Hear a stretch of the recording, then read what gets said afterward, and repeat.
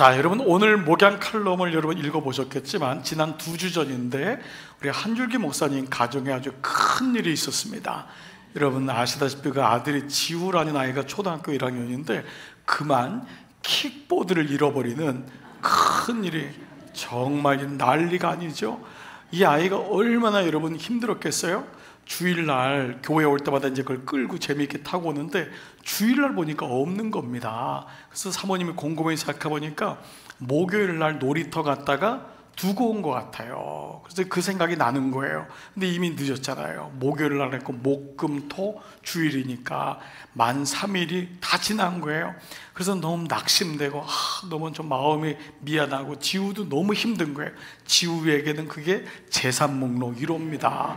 그러니까 얼마나 힘들겠어요. 그런 주일날 인데 사모님이 아이가 여기 있는데 그래도 혹시 몰라가지고 거길 놀이터를 가봤대요. 여러분 물어볼게요. 여러분 그게 킥보드가 있었을까요? 없었을까요? 네, 예, 좀더 들어보세요. 네, 있었어요. 그러니까 정말 얼마나 놀래가지고 대한민국은 진짜 좋은 나라구나. 나흘 동안 킥보드가 어떻게 거기 있냔 말이에요. 너무 기뻐가지고 그거를 가지고 교회에 있는 지우한테 찾아온 겁니다. 지우한테 지우야 이것 바라면서 했어요. 또 물어볼게요. 지우가 좋아했을까요? 안 좋아했을까요? 예, 별로 대답도 안 하시는 것 같아요. 예, 좀 더 들어보세요. 너무 좋아해가지고 막 그냥 얼굴을 뺨에다가 비비고 엄마 고마워요, 감사해요. 그러면서 정말 잃어버렸던 양을 찾은 거예요. 그래서 그, 그 사건이 목사님 가정에는 너무 귀한 사건이 된 거예요. 아이도 어떻게 이룰 수가 있냔 말이에요. 그래서 이제 그 얘기를 나눴겠죠. 정말 한 마리 잃어버린 양을 찾는다는 그 예수님의 말씀이 그렇게 실제적으로 들리더라는 거예요. 여러분 삶에도 아마 잊어버렸다가 찾았을 때 그런 기쁨이 아마 있었을지 몰라요. 그런데 오늘 이 말씀을 드리는 것은 바로 오늘 본문이 지우의 잃어버린 킥보드와 아주 깊은 연관이 있습니다. 이 말씀은 여러분들이 성경을 볼 때 절대 문자적으로 보시면 안 돼요. 그냥 성경은 예측 가능하고 뻔한 스토리가 아닙니다. 만약에 성경이 여러분들의 인식과 지혜로 알아들을 만한다면 이 성경은 이미 성경이 아니에요. 여러분들의 지혜로 이게 예측 가능해요. 그 뻔한 얘기예요. 왜 좋으냐 하면은 이 얘기가 뻔하기 때문에 혹은 육체적으로 피곤도 할 수 있지만 대부분 말씀이 안 들리면 좋는 이유는 말씀이 내 생각하고 다르지 않다고 생각하는 것이 전제될지 몰라요. 그래서 오늘 이 말씀을 통해 예수님의 진의가 무엇인지를 찾는 게 중요한데 예수님이 이 땅에 오신 것은 당신을 많은 사람을 위한 대성물로 주기 위함이다. 즉 구원이라고 하는 것을 꼭 가져야 되는데 예수님이 오신 건 뭐죠? 구원이 변질되었다는 걸 전제하잖아요. 예수님이 우리에게 조금 더 잘 살아라, 착하게 살아라. 이러기 위해서 우리에게 십자가를 준 게 아니잖아요. 그러니까 구원이 변질되었구나라고 하는 변질된 구원관이 첫 번째고 그 두 번째는 변질된 구원관으로 고통받는 당신의 자녀들을 향한 주님의 회복이 두 번째 마음이라는 거죠. 그래서 이 두 가지의 마음을 가지고 배경을 가지고 성경을 볼 때 이 예수님 말씀이 보입니다. 그래서 오늘 말씀도 여러분 혹시 그래 하나님을 사랑하고 이웃을 사랑해야지라고 생각했다면 이것은 사실은 아주 값싼 적용입니다. 이것은 아닙니다. 그 말씀 하려고 예수님이 이 말씀을 하시지 않았다는 거죠. 그래서 오늘 28절부터 시작하는 말씀을 먼저 한번 관찰해 보고 이 말씀을 통해서 주님이 주고자 하는 진의가 뭔지를 나눠 볼게요. 자, 28절 시작. 서기관 중 한 사람이 그들이 변론하는 것을 듣고 예수께서 잘 대답하신 줄을 알고 나와 묻되 모든 계명 중에 첫째가 무엇이니까? 자, 먼저 이 말씀은 평행 본문이 있어요. 같은 본문이 마태복음 22장에 누가복음 10장에 똑같은 본문인데 조금의 이제 애드된 것, 조금 추가된 게 있을 뿐이지만 같은 맥락에서 나온 평행 본문이라고 해요. 자, 근데 거기서는 다 예수를 시험하여 이르되라고 합니다. 그러니까 이, 이 서기관은 뭐냐 하면은 내가 모든 율법을 지켜서 영생을 얻었는데 즉, 이 우리가 계명을 지켜서 구원을 받았는데라는 게 전제되어 있는 거예요. 지금 이 서기관은 그래서 예수님에게 너는 뭐를 가르쳐 주려고 왔냐라고 하는 거예요. 넌 말 잘하더라. 대답 잘하는 줄 알고 지금 예수님을 시험하려고 하는 거예요. 그러면서 뭐라고 하냐면 이 모든 계명, 모세 오경 당시에 있었던 구약의 성경의 모든 계명, 선지서까지 모든 계명을 한마디로 말하면 뭐냐?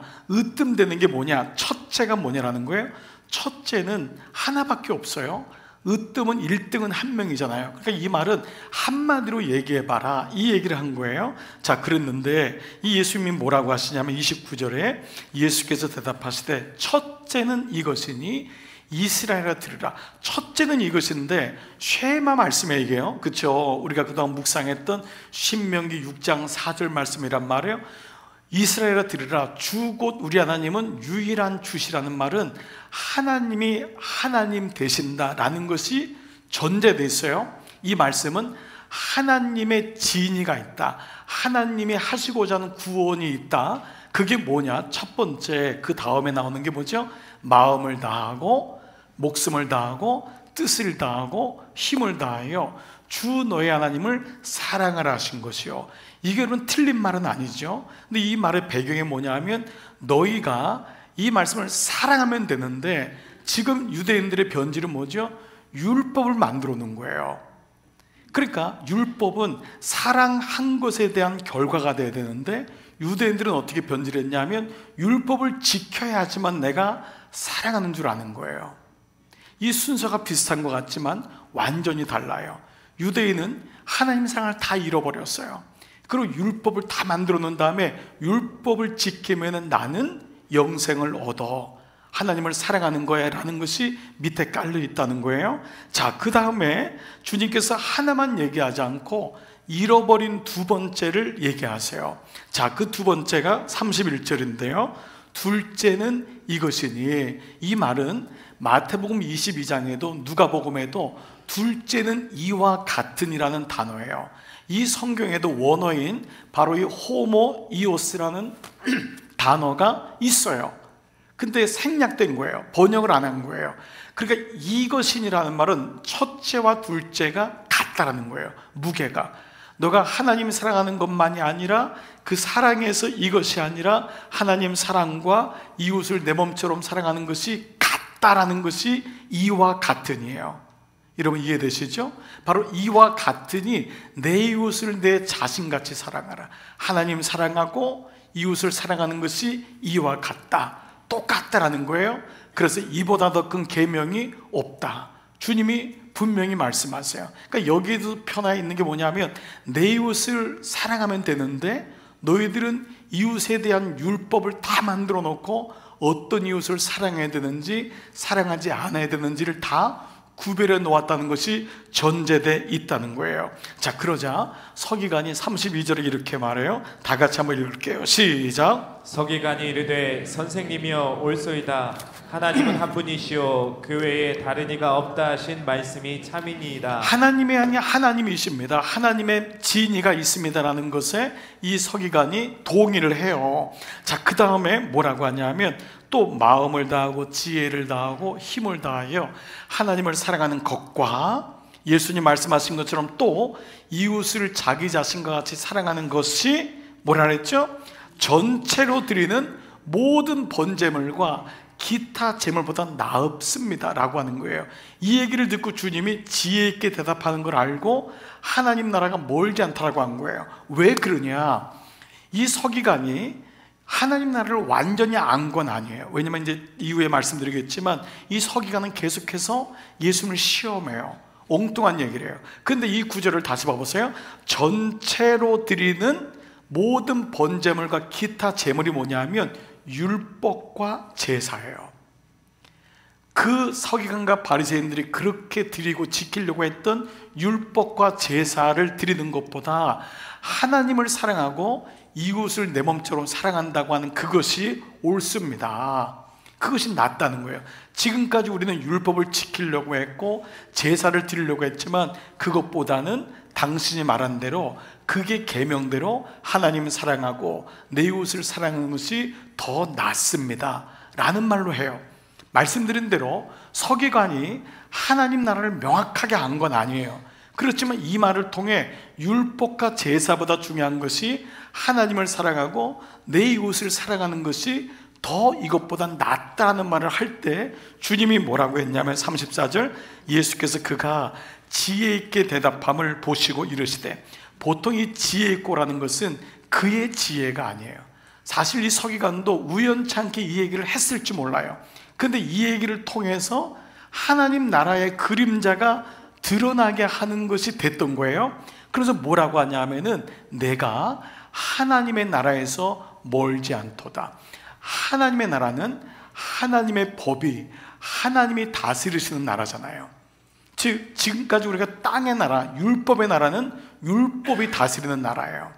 유대인들은 율법이 다스리는 나라를 가졌던 거예요. 근데 이제는 하나님의 나라가 멀지 않다라는 거죠. 그 하나님의 나라의 주인이신 예수님이 이 땅에 오셨을 때 천국이 가까워졌다라는 거잖아요. 성경은 예수님이 누군지를 드러내는 거거든요. 그러니까 오늘 이 말씀도 단지 예수님이 계명을 두 가지로 요약한 것이 이 말씀의 내용이 아니라 하나님 나라가 당신이 와야지만이 완전하게 성취된다는 것을 얘기한 거예요. 즉 율법과 제사보다 낫다는 것은 율법과 제사로는 안 되는데 또, 또 다른 다른 새 언약이 왔다는 것을 그림자로 보여주는 말씀이라고 할 수 있다는 거죠. 자, 이제 이런 맥락에서 한번 말씀을 풀어볼게요. 예수님이 구약에 두 가지를 몰라서 이 말씀을 요약한 것이 아니라고 말씀을 드렸어요. 혹 우리는 또 이 말씀을 가지고 기독교는 하나님 사랑, 이웃 사랑이야 라고 하는 단순한 방정식으로 얘기하는 분들이 있는데 그거를 얘기하려 함이 아니라는 거예요. 이 말씀은 뭐냐면은 율법, 구약의 산을 허무시는 신약의 산에 오르신 예수님이 너희가 구약에 하나님을 전심으로 사랑하는 것이 첫 번째 계명이고 두 번째는 그 이웃을 똑같이 내 몸처럼 사랑하는 것을 배웠지만은 과연 이것이 율법으로 가능하냐라는 것을 묻고 있는 거예요. 그들은 613가지의 십계명에서 파생된 토라의 계명을 만들었어요. 613가지를 그 중에 365가지는 하지 말 거예요. 매일마다 자기 마음속에 하지 않을 걸 하면 안 되는 거예요. 그리고 248가지의 do it, 하라고 하는 계명을 만들었어요. 그러니까 머릿속에 뭐가 있냐면 하나님과 이웃은 보이지 않고 계명을 내가 지키느냐 안 지키느냐. 성도들 가운데는 5호 담당자가 된 거예요. 그래서 이거를 지키는 사람은 저 사람은 거룩한 사람.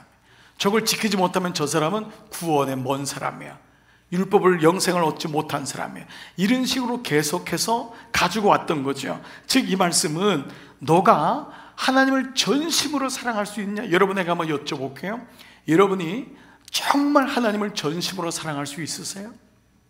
한번 생각해 보세요. 온 힘을 다하고 뜻을 다하고 마음을 다하고 여러분들이 아무리 주님을 사랑한다 해도 여러분 하나님보다 더 사랑하는 것이 늘 마음에 있기 때문에 우리가 회개하고 있잖아요. 그리고 또 하나는 여러분들의 이웃을 내 몸처럼 사랑할 수 있냔 말이에요.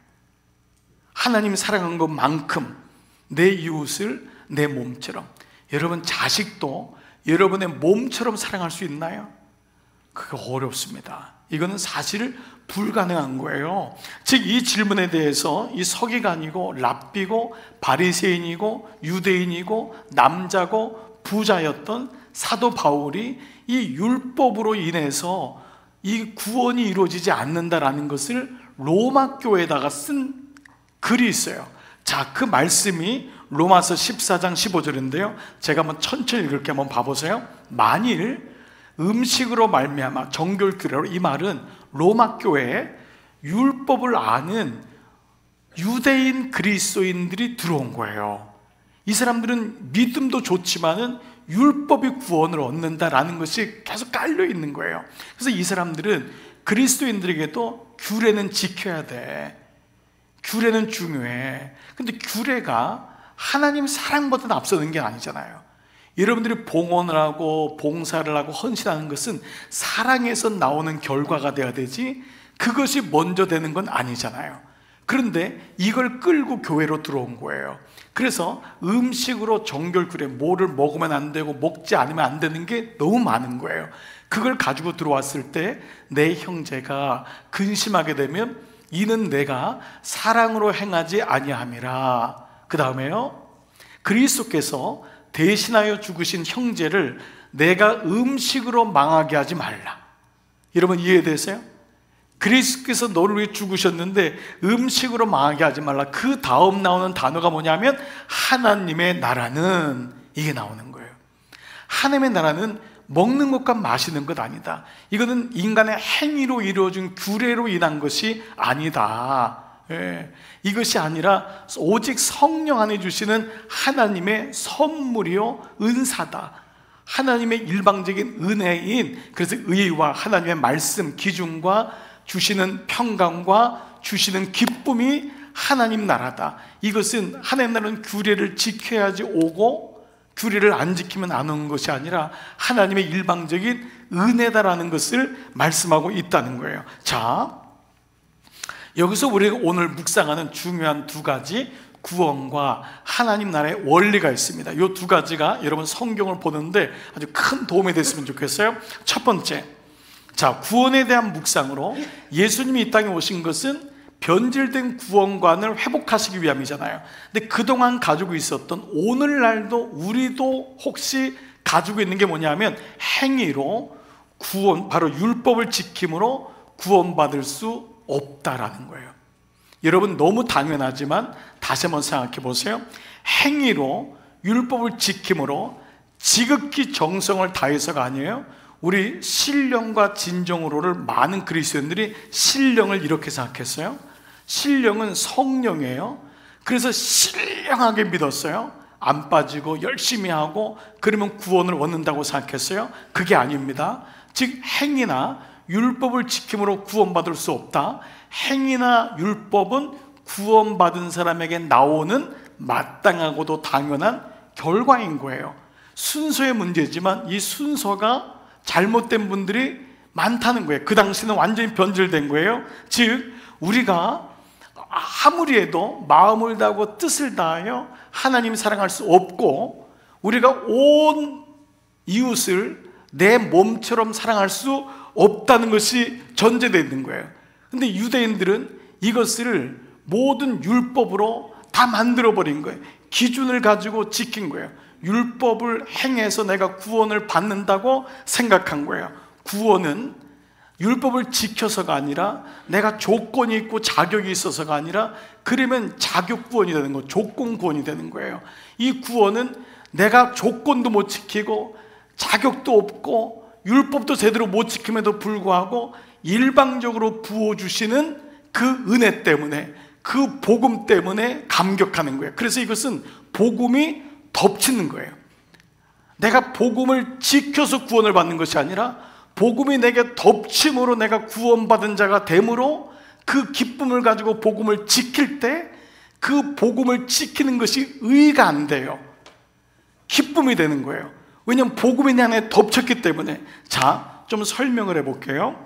여러분들이 잘 아는 탕자 비유는 예수님 비유 중에 가장 중요한 구원의 본질을 말씀하는데 집을 나간 둘째 아들 탕자라 그러잖아요.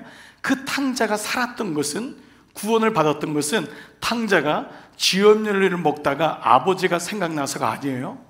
그래서 집에 가면 더 좋을 텐데 집에 돌아와서가 아니에요. 탕자가 구원을 받은 것은 아버지가 그를 덮었기 때문이에요. 자, 이 말씀을 누가복음 15장 20절 탕자가 돌아와요. 이에 일어나서 아버지께로 돌아가니라. 아직도 거리가 먼데 상과가 먼데 아버지는 이미 이 아들을 집 나갈 때부터 집에 나와 있는 거예요. 아직도 거리가 먼데 이 아들이 언제 올지 아무도 몰라요. 그러나 이 아버지는 아들을 이미 기다리고 있어요. 아버지가 그를 보고 이 단어들은 굉장히 구속사적인 단어예요. 보고 치근히 여기고 달려가서 목을 안고 입을 맞추니 바로 이 단어가 뭐죠? 이게 감당할 수 없는 은혜인 거예요. 돌에 맞아 죽을 수밖에 없는데 그 아버지가 아무 자격도 없고 율법도 지키지 않는 그 아들을 안아준 거예요. 일방적으로 안아준 거예요. 이게 구원이라는 거예요. 이게 구원이다. 그래서 그 탕자의 배우는 사실은 첫째 아들이 나쁜 놈인 거예요. 첫째 아들은 모든 율법을 지켰거든요. 집에서 다 했어요. 속으로는 아버지를 사랑하지 않아요. 아버지의 재산만 생각할 뿐이에요. 그래서 둘째 아들 돌아왔을 때 아들에게 은가락지 주고 염소 잡고 양 잡고 할 때 그게 싫은 거예요. 저게 내 건데 둘째 놈이 다 가져가네. 그 첫째를 가리켜서 바로 바리새인과 서기관을 얘기한 거고 둘째 탕자는 이방인 우리 같이 하나님 없이 개기요 나그네요 과부되었던 우리 우리를 향한 말씀인 것을 보여주고 있죠. 자, 이 마가복음 오늘 본문과 평행 본문이 누가복음 10장이라 그랬잖아요. 10장에 이 서기관이 이렇게 얘기해요. 주 너의 하나님을 사랑하고 또 내 이웃을 내 자신같이 사랑하라 하였나이다. 말을 잘했어요. 그랬더니 오늘 마가복음에서는 지혜 있게 말함을 보고 내가 하나님의 나라가 멀지 않구나 얘기했는데 누가복음은 좀 더 이 사건이 연장이 돼요. 자, 예수님께서 이걸 알고 누가 보면 그 다음 절 10장 28절에 뭐라고 하냐면 예수께서 이르시되 내 대답이 옳도다. 오늘 이 말씀이 지혜 있게 보시고예요. 옳도다. 근데 그 다음 말씀 뭐냐면 이를 행하라. 그러면 살리라. 이건 문자적으로 보면 안 돼요. 왜냐하면 우리는 이미 행함으로는 구원을 받을 수 없다는 것을 주님이 아시는 거예요. 행함으로 구원받을 수 없는 그들을 위해서 주님이 새 언약으로 오셨는데 이 말씀은 뭐지요? 살 수 있나 보라고 하는 반어법인 거예요. 그래, 네가 말씀대로 하나님을 사랑하고 이웃을 사랑해 봐. 그러면 살 거야. 우리는 사랑할 수 없어요. 절대로는 하나님을 온 마음을 다하여 뜻을 다해 사랑할 수 없어요.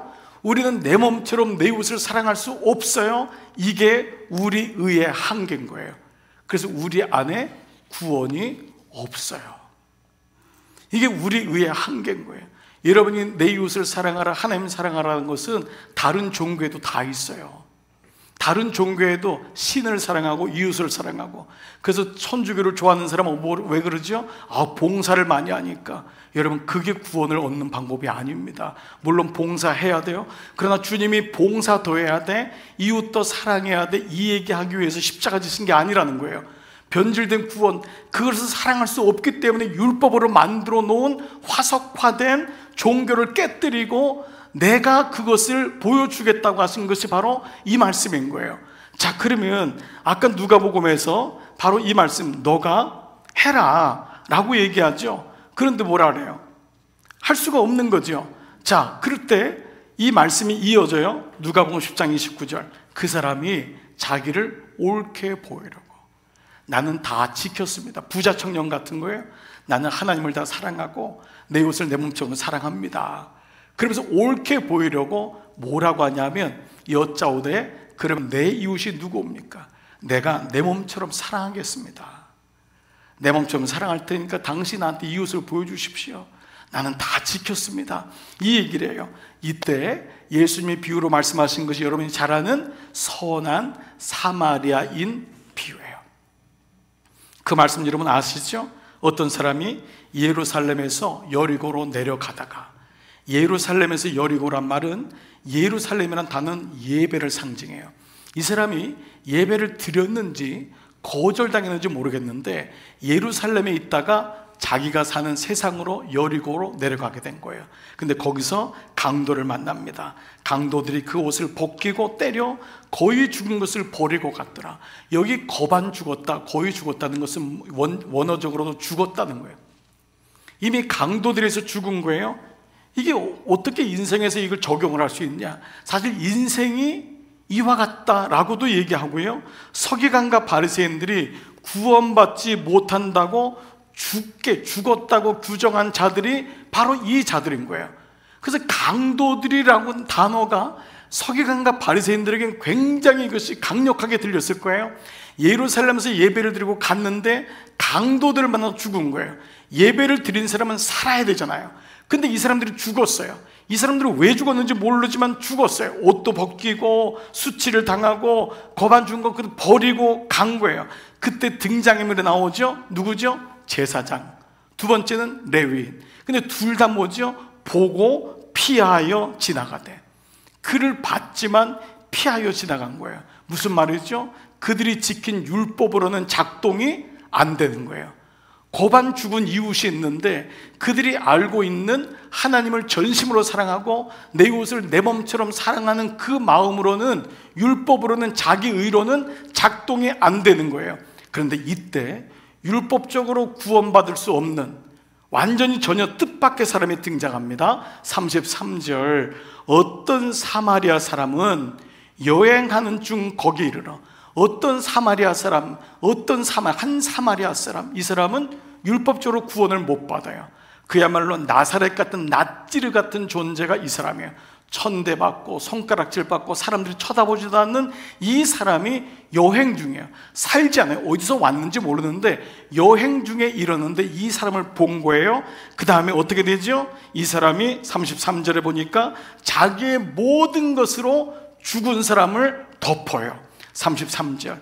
그를 보고 불쌍히 여기고 가까이 가고 이게 다 구속사적인 단어라 그랬어요. 탕자에 비어 나오는 똑같아요. 아버지가 하신 것처럼 보고 불쌍히 여겨 달려가서인데 더 가까워요. 가까이 가서 자기 여행자에게 있는 모든 것이 기름과 포도주예요. 기름과 포도주를 아낌없이 그 상처에 붓고 싸매어주고 자기 짐승에다 피 흘린 사람을 얻는 거예요.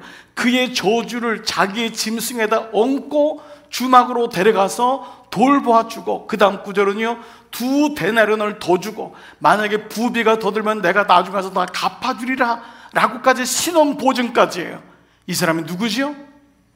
예수 그리스도. 사마리아 사람은 선한 사람, 사람이 아니에요. 그 사람을 얘기하는 건 그 다음이에요. 선한 사마리아는 누구냐 라는 것을 말씀해요. 예수님을 통한 구원을 이 누가복음의 오늘 이 말씀을 통해서 연장되는 거예요. 즉 마음을 다하고 뜻을 다하고 힘을 다하고 하나님을 사랑하고 내 옷을 내 몸처럼 사랑하라 하지만 할 수 없는 우리를 위해서 그분이 죽은 우리에게 오셔서 할 수 없는 율법으로 아무것도 할 수 없는 우리를 위해서 구원의 길을 여셨음을 말씀하고 있는 거예요. 이것을 갈라디아서 3장 11절에서 또 하나님 앞에서 아무도 율법으로 말미암아 의롭게 될 인생이 아무도 없어요. 율법으로 구원을 이룰 사람이 없다. 율법은 자기 의를 드러낼 뿐인 거예요. 그래서 사람의 의를 무너뜨리고 하나님의 의, 예수님의 의를 드러낸 건데 그 다음 말씀이 뭐예요? 그리스도가 나오는 거예요. 그리스도께서 우리를 위하여 저주를 받은 바 대사 율법의 저주에서 우리를 속량하신 거예요. 그 죽은 시체를 자기가 짊어지시고 그리고 그를 싸매시고 생명을 주시고 일으키셨다고 하는 이 말씀이 이어지고 있는 거죠. 첫 번째, 율법으로 행위로 구원받을 수 없음을. 그것은 거기까지밖에 안 되는 거예요. 보고 피하여 가니라. 보고 피하여 가니라. 두 번째는 오늘 묵상은 하나님 나라에 대한 묵상으로 우리를 인도해요. 그것은 잃어버린 이웃이 누구인가? 잃어버린 이웃이 누구인가? 자, 다시 본문으로 와서요. 서기관은 첫째 되는 으뜸 되는 율법이 뭐냐고 묻는데 주님은 둘째를 얘기하세요. 잃어버린 둘째. 보통 첫째는 한 가지만 얘기하잖아요. 그런데 이 이스라엘 백성에겐 잃어버린 게 있어요. 서기관과 사두개인은 하나님을 누구보다 사랑한다고 생각하고 그렇게 율법적으로 지켰어요. 그러나 그 가운데서 잃어버린 둘째가 있는 거예요. 그 말씀이 뭐냐? 마가복음 10장 31절 둘째는 이것이니 즉 둘째도 이와 같다 그랬잖아요. 첫 번째하고 똑같은 건데 그 하나님을 믿는다고 했지만 잃어버린 똑같은 것이 있는데 내 이웃을 내 자신같이 사랑하라 하신지라. 바로 이웃에 대한 거예요. 잃어버린 이웃. 첫 번째는 행함으로 율법으로 구원받지 못한다는 구원과 두 번째는 잃어버린 이웃에 대한 말씀이 나와요. 이 사람들은 이웃을 제 몸처럼 사랑한다고 율법을 정했지만은 사실은 율법으로 모든 사람을 갈게갈게 찢어놨어요. 그이 사람은 구원 못 받고 저 사람은 성전 못 들어오고 저 사람은 가난하기 때문에 저 사람은 병인 걸렸기 때문에 저 사람은 여자기 때문에 저 사람은 아이기 때문에 그래서 여러분이 마가복음 지금 묵상하고 있잖아요. 마가복음을 보면은 이 잃어버린 구원, 잃어버린 이웃들이 계속 눈에 나와요. 여러분들이 지금까지 묵상했는데 아마 그렇게 묵상을 안 했을 거예요. 자, 잃어버린 이웃이 누군지 이 사람들의 공통점이 뭔지 한번 봐보세요. 자, 첫 번째. 1장에 처음부터 나와요. 1장부터. 보통 1장에 이런 사건 안 나와요. 1장 23절, 더러운 귀신 들린 사람. 두 번째, 열병에 걸린 시몬의 장모. 또, 각종 병든 많은 사람들, 나병 환자, 중풍병자, 세위 레위, 세리 레위, 한쪽 손 마른 사람, 무덤에 사는 귀신 들린 사람, 회당장 야이로의 딸, 열두 해 혈루증 걸린 여인, 예, 또 이방 수로보니게 여인, 귀먹고 말 더듬는 사람, 귀신 들린 아이, 어린 아이, 또 어린 아이들, 맹인 바디메오, 가난한 과부, 나병 환자 시몬, 그리고 옥합을 깨뜨린 여자, 이 공통점이 뭐죠? 구원받지 못하게 규정된 사람들이에요. 예수님이 만난 사람들이 이 사람들을 만나신 거예요. 예수님이. 그래서 이 모두가 구원받을 수 없는 이웃들이 마가복음에 계속적으로 나오는 거예요. 이 사람은 누가 규정한 거죠? 그들이 규정한 거예요. 그래서 이들을 회복하심이 예수님의 오신 목적이구나. 자, 그래서 마태복음 5장은 산상수훈인데 산상수훈은 성경을 여는 문이라고 했잖아요. 그 산상수훈 마태복음 5장 22절에 예수님이 이렇게 말해요. 나는 너희에게 이르노니 너희는 옛 율법을 옛 언약으로 옛 사람에게 들은 바 되고 너희는 들었거니와 율법은 이렇게 말하지만 나는 너희에게 말하는데 형제에게 노하는 자마다 먼저 이 형제란 말이 아델포스라는 단어의 복수예요. 그러니까 형제들이에요. 근데 거기 호라고 하는 너가 정관사가 붙으면 뭐가 되냐면 나의 자녀, 나의 백성이 돼요. 너희가 나의 자녀, 나의 백성, 그 백성에게 노하는 자마다 이 노한다고 하는 이 단어는 그냥 한 번에 욱 하는 게 아니라 오르기조라고 하는 헬라어인데 이 말씀은 오랫동안 못마땅한 거예요. 지금도 못마땅해요. 그 사람이 성전 들어오는 것도 못마땅하고 그 사람이 저렇게 하는 것도 못마땅하고 내 안에 율법으로 가지고 있는 기준이 있는 거예요. 그래서 늘 그 사람이 못마땅한 거예요. 그게 노하는 거예요. 그리고 형제에 대해서 라가란다. 라가는 쓸모없는 아무 가치가 없는 거예요. 아무 가치가 없는 텅 빈 아주 욕인데 아무 가치가 없는 거예요. 여인들은 아무 가치가 없고 애들 가치가 없고 가난한 자 가치가 없고 병든 자 가치가 없다는 거예요. 그리고 더 나가서는 미련한 놈이라는 이 단어는 모로스라고 하는 단어인데 이 말은 뭐냐 하면 천벌 받을 놈이에요. 미련한 놈, 천벌 받을 놈이라고 하는 자는 지옥불에 들어간다. 자, 이 공통점이 뭐죠? 바로 구원받지 못할 자라는 거예요. 그래서 너가 내 자녀에게 내 백성에게 화를 내고 노를 벌하고 노를 바라고 라가라 하고 그리고 미련한 놈이라고 하는 거기에 대해서 내가 너에게 말한다. 그는 지옥불 간다. 라고 말씀하고 있어요. 그래서 이 말씀으로 해결되는 이 말씀이 여러분이 잘 아는 로마서 3장 22절에 곧 예수 그리스도를 믿음으로 말미암아 모든 믿는 자에게 미치는 하나님의 의인이 그 예수님의 의인데 그 의인은 차별이 없다. 예수님으로 어떤 누구도 구원받고 구원 안 받고의 기준이 없다. 차별이 없다는 것을 말씀하고 있어요. 예수님은 변절된 구원을 드러내시고 우리의 이웃이 누군지를 말씀하세요. 오늘 말씀을 제가 마무리해 볼게요. 아, 지우 킥보드 얘기 제가 다시 한번 아, 데려와 볼게요. 누가복음 15장에 있는 말씀이 왜 이게 우리에게 이른 양 한 마리 우리 한 목사님하고 사모님이 묵상했던 이 말씀이 왜 왜 이른 양 한 마리와 목자에게가 오늘 말씀이기 때문에 이 말씀이 이해가 돼요. 이 말씀은 서기관과 바리새인들은 죽었다 깨도 이해가 안 되는 말씀이에요. 자, 이 말씀이 어떻게 시작되냐면 15장 4절. 너희 중에 어떤 사람이 양 100마리가 있는데 그 중에 하나를 잃으면 아흔아홉 마리를 들에 두고 이 바보 아니에요? 아흔아홉 마리를 들에 둔대요. 한 마리 때문에 한 마리를 찾기 위해서 아흔아홉 마리를 들여 두고 그 잃은 것을 그 다음엔 더 바보 같아요. 찾아내기까지. 찾으러 가는 게 아니라 찾아낼 때까지 찾아다니지 않겠냐 말이에요. 아흔아홉 마리를 들여 두고.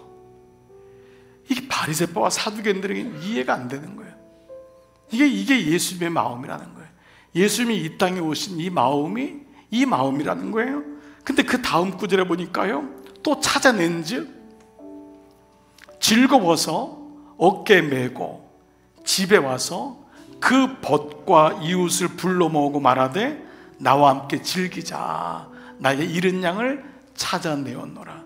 한 마리 찾았다고 동네 사람 다 불러가지고 잔치하면 이게 도대체 이윤적으로 남는 사람이에요? 아무 계산도 없는 사람이죠. 그러니까 이게 뭘 의미하는 거예요? 이게 십자가의 사랑을 얘기하고 있는 거잖아요. 그분의 구원이 어떻게 왔는지를 얘기하면서 그 다음에 마지막 결론이 뭐냐 하면은 죄인 한 사람이 회개하면 너희가 규정한 죄인 너희가 율법으로 규정한 그 죄인 한 사람이 회개하면 하늘에서는 회개할 것이 없는 의인 아흔 아홉으로 말미암아 기뻐하는 것보다 더 기뻐하겠다는 거예요. 그 한 영혼이 돌아오면 이미 하늘나라에서 회개할 것도 없는 의인 아흔 아홉 명보다도 더 기뻐하겠다. 이게 하나님 마음인 거예요. 그러니까 여러분 예수님이 이 땅에 오셔서 이 마음을 우리에게 보여주시는 거예요. 그런데 우리는 화석화되고 종교화되고 율법화되고 오늘날 교회가 뭐야? 다 공로주의, 율법주의, 화석화, 생명에 대한 마음도 없고 너그러움도 없고 이해도 없고 지 눈에 있는 들보는 못 보고 끊임없이 누군가를 향해서 보고 여러분 교회는요 사실 이단이나 외부에서 무너진 적은 없어요. 이단이 올 때도 초대교부터 교회는 하나가 됐어요. 근데 교회가 언제 무너지냐면 교회 안에서 자기 의가 있는 사람 때문에 교회는 무너져요. 이게 교회예요.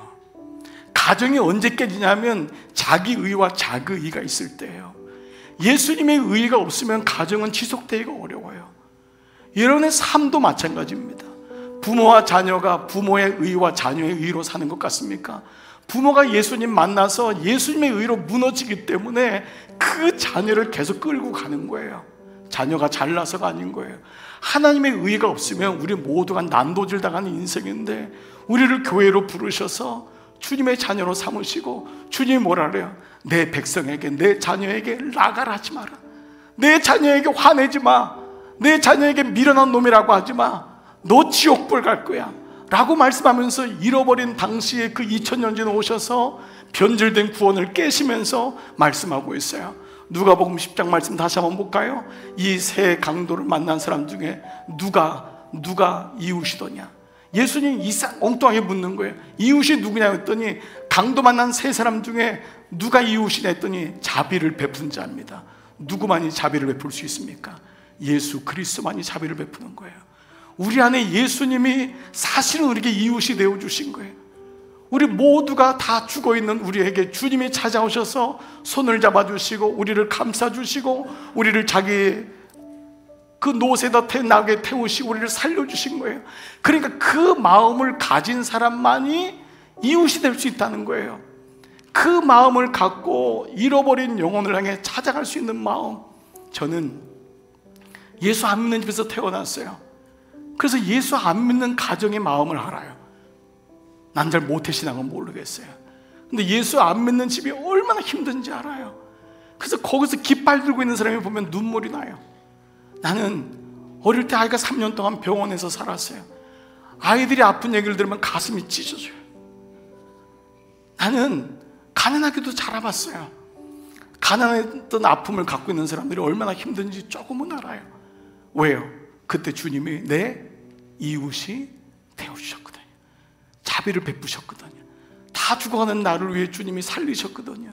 그래서 내게 이웃이 보이는 거예요. 내게 그 영혼이 보이는 거예요. 예수님의 사랑이 안 보이면 어떻게 누가 보일 수 있습니까?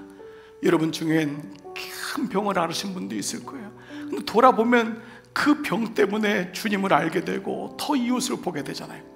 그래서 오늘 말씀을 통해 우리는 하나님 나라가 가까웠구나. 이 서기관은 사실 모를 수도 있어요.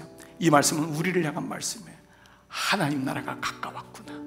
여러분 가운데 그 예수님의 사랑이 있습니까? 하나님 나라가 가까워요. 여러분에게 복음을 전할 이웃이 있습니까? 안아줄 이웃이 있습니까? 잃어버린 한 마리 양 때문에 정말 마음을 쏟을 수 있는 그 어린 양이 있습니까? 하나님 나라가 가깝도다. 오늘 이 말씀이 여러분에게 잘 말씀이 들려지기를 주의 이름으로 축복합니다. 말씀은 내 입장에서 들으면 교훈이 되지만 예수님의 눈으로 보면 구속사적인 말씀으로 보면 이 말씀은 예수님이 나타나요. 그 예수님이 없이는 내가 살 수 없구나를 깨닫게 됩니다. 오늘 이 은혜가 여러분 가운데 다시 잘 새겨지는 귀한 아침 되기를 주의 이름으로 축복합니다. 아멘, 아멘. 이 시간 여러분 성경 노트 닫으시고 다 자리에서 한번 일어나 보시겠습니다. 오늘 나의 공로 때문도 아니요, 나의 의 때문도 아니요. 죽었던 나를 살리신 것은 바로 예수 그리스도셨어요. 오늘 저는 이 찬양을 할 때 오랫동안 여러분이 이 찬양이 여러분을 위해 기도하는 중보기도자라고 생각할 수 있었는데 이 찬양의 가사도 가만 봐보세요. 누군가 널 위해 기도하는 건 바로 예수님이세요. 여러분이 힘들고 지칠 때 여러분을 위해 기도하는 건 어떤 다른 분은 그 다음이에요. 예수님이 여러분을 아세요. 예수님이 여러분의 무너진 마음을 위해서 기도하세요. 바로 이 찬양입니다. 같이 같이 고백하고 우리 찬양하며 주 앞에 나가십시다.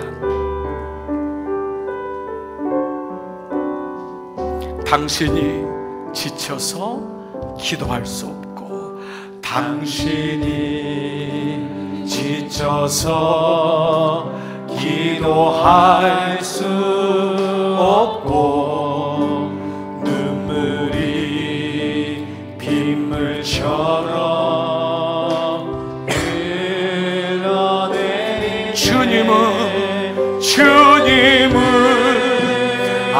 아시네 당신의 약함을 사랑으로 돌봐주시네.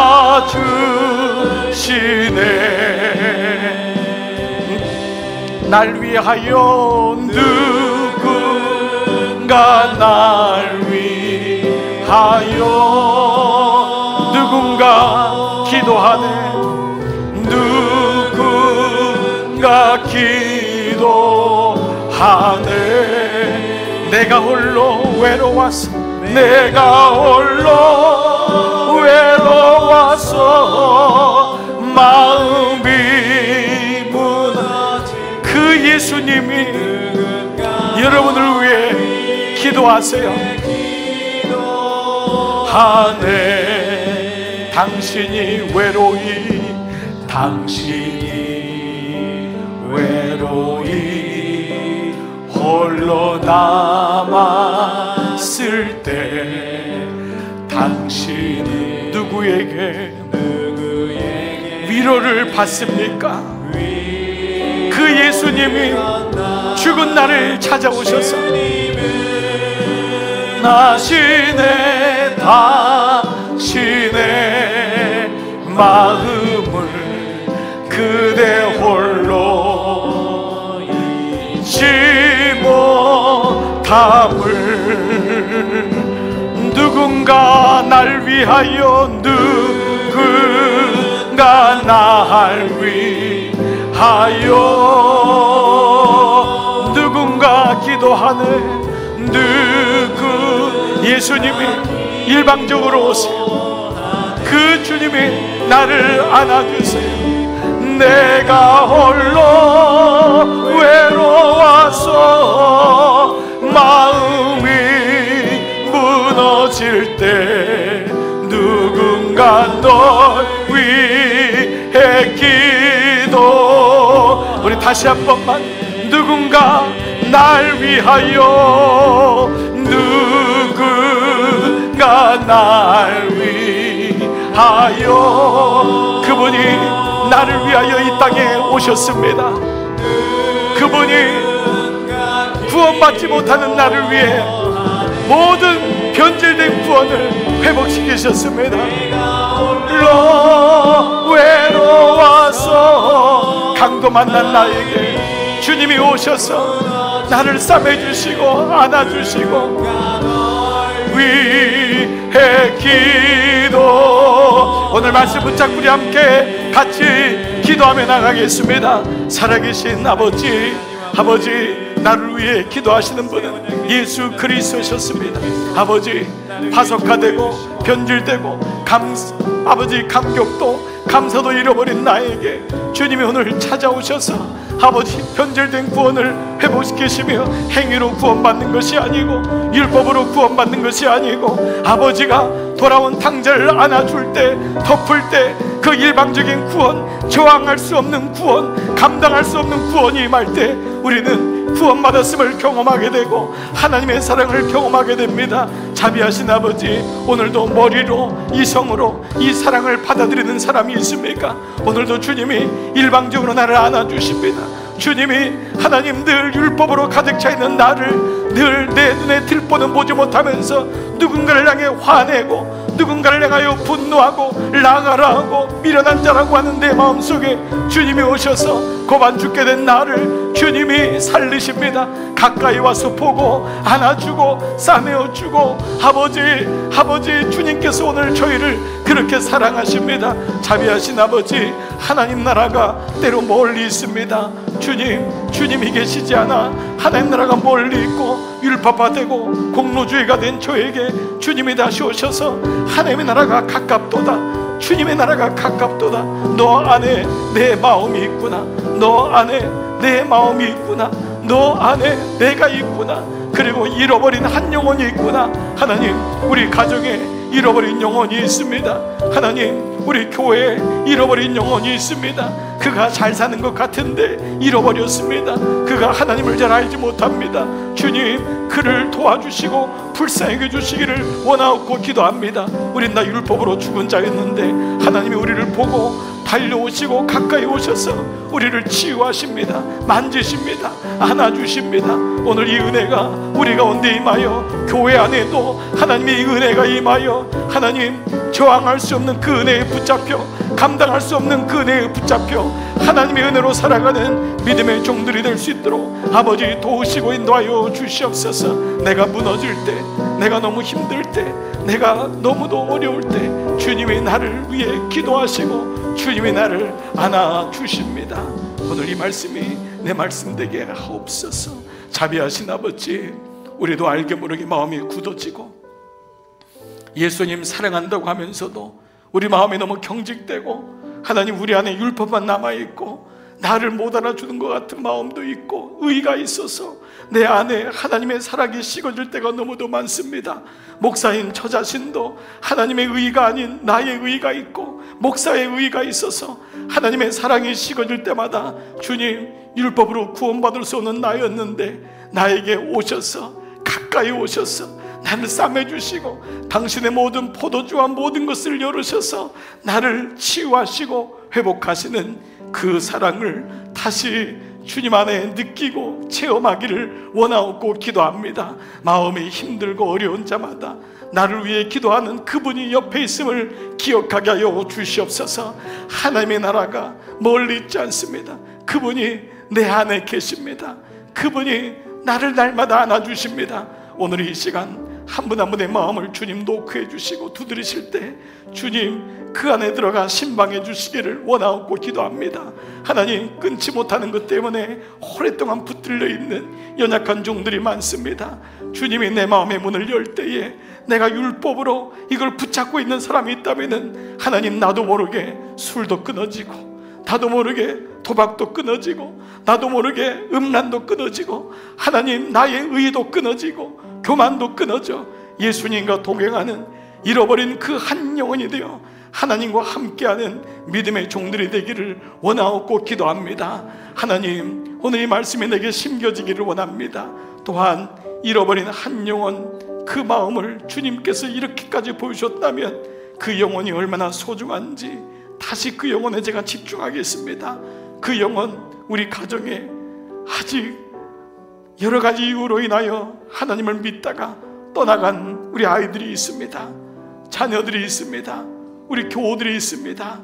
하나님 궁유를 해주시고 그 예수님 마음을 가지고 그 영혼이 주께로 돌아올 수 있도록 하나님 도와주시고 인도하여 주시옵소서 이번 한 주간 사랑하는 종들을 파송합니다. 세상에 살면서 하나님 나라를 잊지 말게 하시고 주님이 통치하시는 그 나라 백성으로 살게 하옵소서. 이제는 성부와 성자와 성령의 은총이 머리 숙인 모든 종들 위에 이제로부터 영원토록 함께 하시기를 간절히 축원하옵나이다. 아멘.